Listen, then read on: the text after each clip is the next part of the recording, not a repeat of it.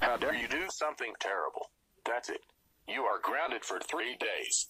And while you are grounded, you will eat nothing but lumpy potatoes for every meal and dessert. Go to your room right now.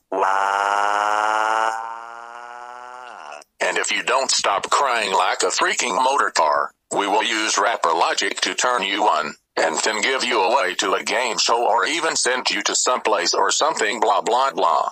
That's the stupidest thing I've